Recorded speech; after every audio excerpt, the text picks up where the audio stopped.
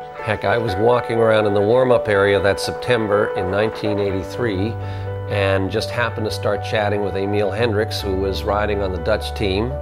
And he said, do you ever come to Europe to look at horses? And I said, well, occasionally.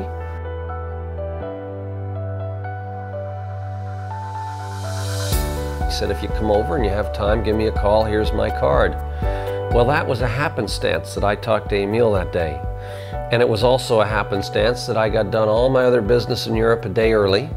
And I could have sat around Brussels and relaxed for a day and caught the plane home. I was certainly tired enough. But I picked up the phone and called Emile and he said, you know, there's a horse.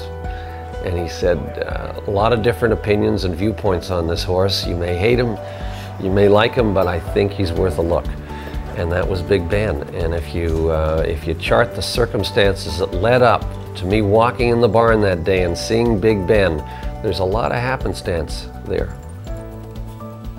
When I first saw the horse, in fact, we walked into the, the stable in Holland and he was already had the saddle and bridle on and he was tied up in the aisle waiting for us.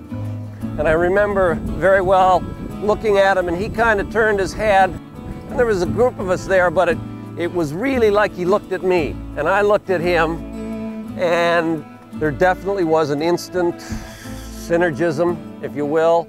Uh, communication was right there.